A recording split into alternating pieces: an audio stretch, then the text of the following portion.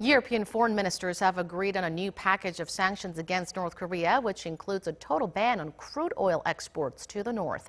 Such toughened sanctions came a matter of weeks after the UN Security Council unanimously adopted intensified sanctions in response to the regime's sixth nuclear test in early September. Kim Hyo-sun reports. The European Union has imposed intensified sanctions against North Korea aimed at cutting off sources of cash that are helping the regime develop its nuclear and missile programs. The new sanctions approved by EU foreign ministers on Monday include a total ban on EU investment in North Korea, as well as a ban on the sale of refined petroleum products and crude oil to the communist state. The new measures also slash the amount of money that individuals can send to North Korea from 15,000 euros to 5,000 or from 18,000 US dollars to 6,000.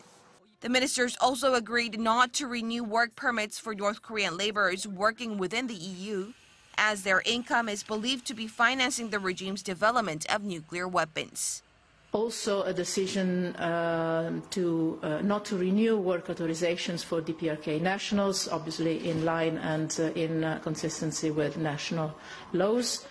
Asset freezes and travel bans were expanded to three more North Korean individuals and six entities, making the total number of subjects targeted by EU sanctions to 104 individuals and 63 entities.